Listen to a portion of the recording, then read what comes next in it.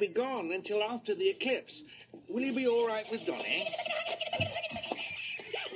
Are you kidding? This will be the highlight of my young life. That's the spirit, Poodles.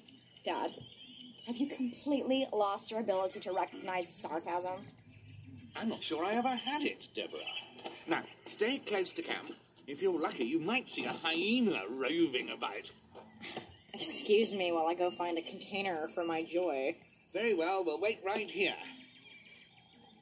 Oh, that's sarcasm, isn't it? You do that rather frequently, don't you? Debbie, just how long is this sulking gonna go on? Mm, another 35, 40 minutes. Then I'll start up again tomorrow. Well, get some rest. I know it must be draining. We'll call you on the shortwave. Be careful and have a good time. No problem. I'll take the Congo Converse spin. Absolutely not. But do have fun.